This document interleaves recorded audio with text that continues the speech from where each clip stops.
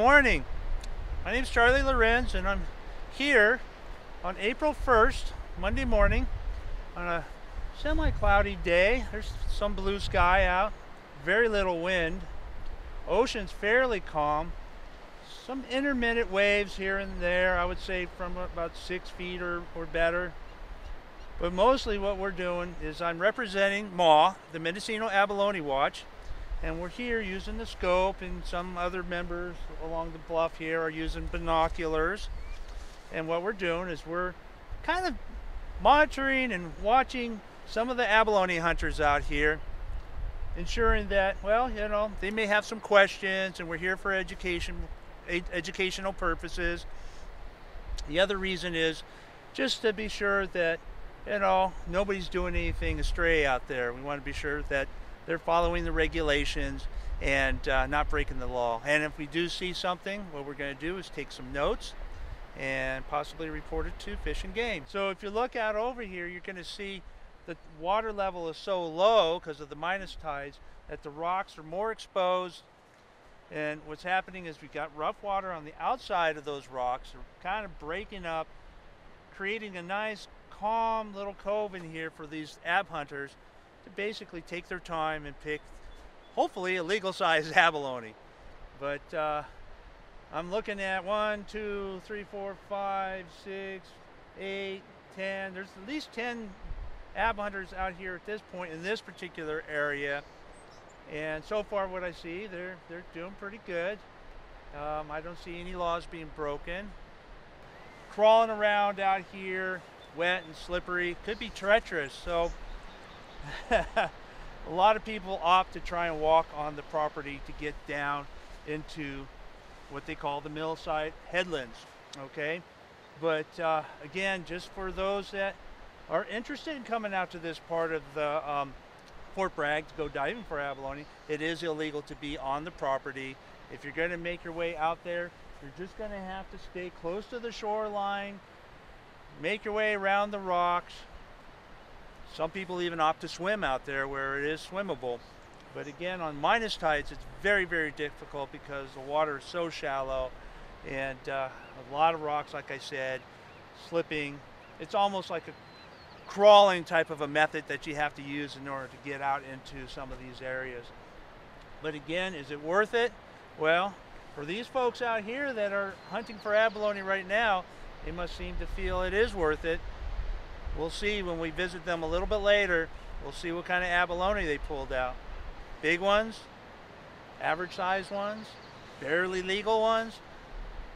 I mean, most people will, when they either purchase or rent abalone hunting gear, i.e., um, wetsuits, thick gloves for protection in the rocky environment because there's going to be lots of mussels and sharp edges cut their hands pretty easily. Thick, heavy boots with thick, heavy soles.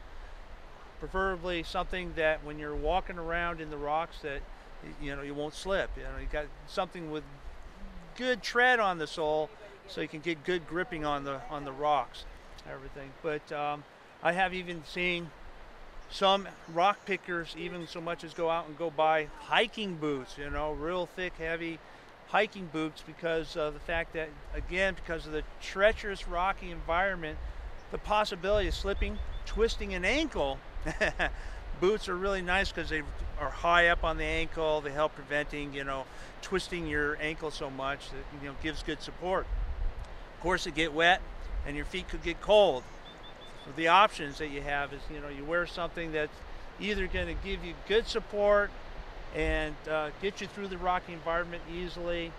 Um, but your feet might get cold, like with regular hiking boots. But if you wear diving boots, which they do have diving boots out in the market with good, real heavy, rubbery soles, good tread on them, so you could get good, you know, traction in the rocks. But mostly, the big trick in, in making your way in through these rocky environments is taking your time, step by step, crawling sometimes. Knee pads are really nice. Some people have to get a little heavy knee pads because if they slip and hit their knee on a rock or as they're crawling around, knee pads will help the longevity of your wetsuit so they don't wear holes in them so easily. But in any case, a lot of gear is needed and to each his own. You know, you can go out and rent gear as what I suggested or you could purchase it. But beware in these kind of rocky environments, whatever you purchase, they are going to get trashed. They will get trashed big time. When it comes to hunting for abalone, all the rules apply. Got to have a, a seven inch gauge with you, an ab bar for prying the abalone off, a legal ab bar that is. There's a lot of rules that designate what's a legal ab bar. But in any case, some kind of an implement to carry the abalone backpack. Some people are using inner tubes. Some people, I noticed one person down here using uh, one of those uh, freezer um, containers, you know, with the zip Ziploc freezer container. It looked like he attached some straps so he can carry it on his back. Um, a lot of times inner tubes in a real, real rocky area sometimes can be a nuisance because it's so big and bulky. So streamlining is, is sometimes really essential in the rocks. Um, I've seen a lot of people popular using the backpack just like the regular, you know, school backpacks. It, you know, throw in, not real big, it fits on the shoulders, and they you can fit three abalone in there easily. But uh, if you're going to be diving out here, that's where the rules change. You know, bring in fins.